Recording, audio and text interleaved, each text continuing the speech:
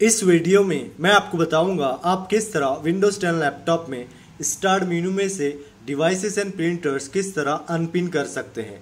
अभी मैं स्टार्ट मीनू पर क्लिक करूँगा तो यहाँ पर आप देख सकते हैं, यहाँ पर डिवाइसेस एंड प्रिंटर्स दिखा रहा है।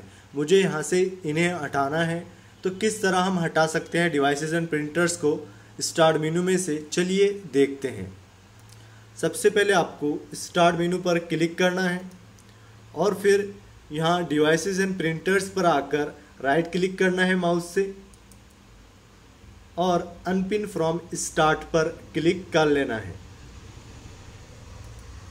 तो आप देख सकते हैं यहाँ से डिवाइसेस एंड प्रिंटर्स अनपिन हो गया है स्टार्ट मेनू में से। अब मैं स्टार्ट मेनू पर क्लिक करूँगा तो अब ये दिखा नहीं रहा है डिवाइसेस एंड प्रिंटर्स